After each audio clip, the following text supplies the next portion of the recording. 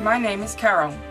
I am an American. In May of 2008, I lost my job of 10 years. It was outsourced.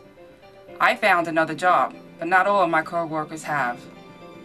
As I look into the future, I don't like what I see with a Republican president. More war, more outsourcing of jobs, higher gas prices. When I look at my future with Barack Obama, I see a change I can believe in.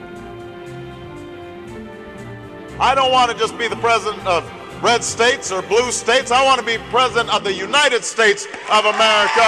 That's how we will change this country.